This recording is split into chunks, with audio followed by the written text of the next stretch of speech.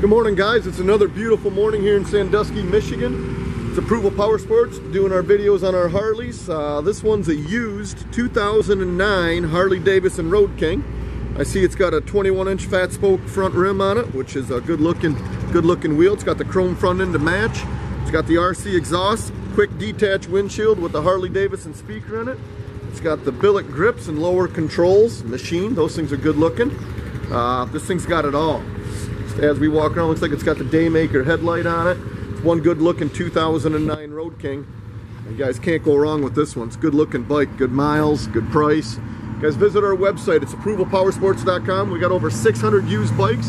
We got guaranteed financing. We got lease programs on all of our Harleys. Call today and you can ride today, approvalpowersports.com.